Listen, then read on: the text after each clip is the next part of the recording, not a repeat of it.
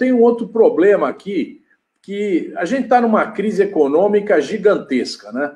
Que vem não só da pandemia, mas já vinha antes. O Brasil já estava com, com 11 milhões de desempregados quando começou a pandemia.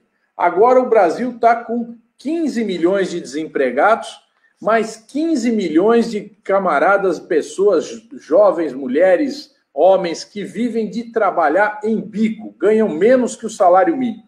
Então, praticamente são 30 milhões de brasileiros que não estão conseguindo trabalhar. Né? E isso foi necessário. ano passado, nós lutamos lá em Brasília e conseguimos o auxílio emergencial de 600 reais. Né?